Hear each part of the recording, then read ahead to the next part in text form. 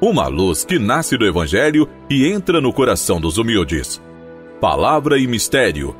Apresentação: Dom Messias dos Reis Silveira, Bispo da Diocese de Teófilo Otoni, Minas Gerais.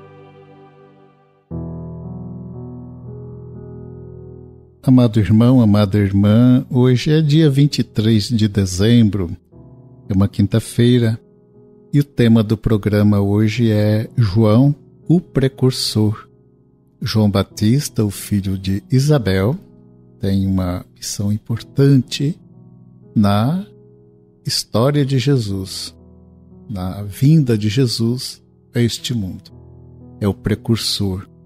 Mas antes de falar do tema do programa, eu quero recordar que hoje temos mais uma memória facultativa de um santo, é São João Câncio João, ele nasceu no ano de 1390 e viveu até 1473. Ele era polonês, foi padre, foi teólogo, foi mestre e modelo de várias gerações de sacerdotes. Ele foi pároco. O seu espírito de oração e de penitência, a sua inexaurível caridade para com todos, especialmente para com os pobres, lhe dão um lugar de destaque no grande século é, dos santos da Polônia. Amigo irmão, amiga irmã, que o Senhor esteja conosco com sua graça e sua misericórdia. Que o amor de Jesus, o Cristo, nos torne solidários e generosos com nossos irmãos. Que a força do Espírito Santo nos faça santos e profetas em sua igreja. Amém. Assim nós esperamos, não é mesmo? A um passo do Natal, a igreja nos presenteia ainda no Evangelho de Lucas, capítulo 1, versículos de 57 a 66, com o relato do nascimento de João Batista, o precursor de Jesus como uma voz que clama no deserto, recebeu a missão de chamar o povo à conversão. Último profeta do Antigo Testamento e o primeiro da Nova Aliança, João perpassa os evangelhos com uma figura controversa. Quando se completaram os dias, Isabel deu à luz o seu filho. Vizinhos e parentes ouviram quanta misericórdia o Senhor lhe tinha demonstrado, ficaram muito alegres. Alegraram-se com Isabel e foram visitá-la. Conta o Evangelho de hoje que depois dos acontecimentos da sua circuncisão, os vizinhos encheram-se de temor e todos os que ouviram a notícia se perguntavam: Que vem a ser este menino? De fato, a mão do Senhor estava com ele. Aí está então esta grande esperança, pergunta do povo. O que vem a ser este menino? Eu gosto de recordar isto nos aniversários. Quando celebro o aniversário de alguém, quando celebro meu próprio aniversário. Recordar daquela pergunta que as pessoas faziam ao olhar para aquele menino. O que vem a ser, o que virá a ser este menino? Então, o que nós estamos hoje com nossa vida respondendo ao chamado de Deus, ao que Deus nos pediu. Não dá para olhar lá no começo e, e dizer: este menino será assim, será assim, desta forma. Não. A vida vai acontecendo, a história vai sendo feita. O que virá a ser este menino?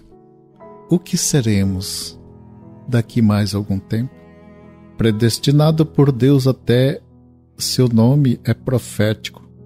O nome João significa misericórdia de Deus. Se Deus já tivera misericórdia com seus pais, agora irrompe com irresistível poder na vida deste menino. Em João, com um nome novo que rompe com as tradições familiares, o Espírito Santo começa a percorrer os novos caminhos da salvação. Também o pai Zacarias, já com sua língua destravada, começa a louvar e a bendizer a Deus. Ele diz: Bendito seja o Senhor Deus de Israel, porque visitou o seu povo e suscitou um poderoso Salvador na casa de Davi, seu servidor.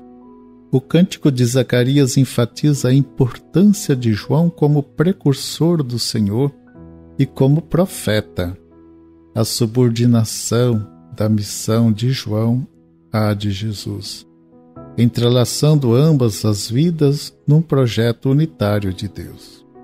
A tarefa prioritária de João Batista foi reunir o povo para levá-lo à penitência e conversão. Conversão, como nos diz o catecismo, que não visa primeiramente as atitudes externas, mas a conversão do coração.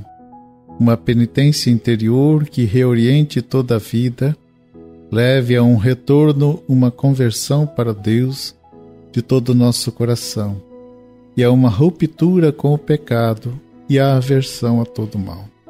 Assim como João Batista convidou Israel à penitência e à conversão, hoje ele convida toda a igreja a se aproximar da misericórdia e do amor de Deus.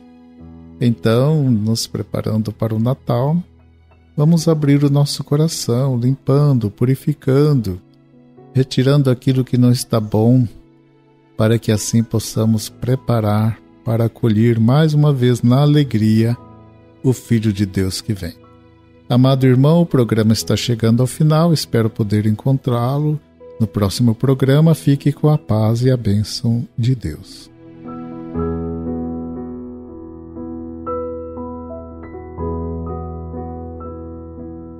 Ó Deus, concedei ao povo que vos serve crescer pela vossa graça e guardar sempre os vossos mandamentos. Por Cristo nosso Senhor. Amém. Abençoe-vos o Deus Todo-Poderoso, Pai, Filho e Espírito Santo. Amém.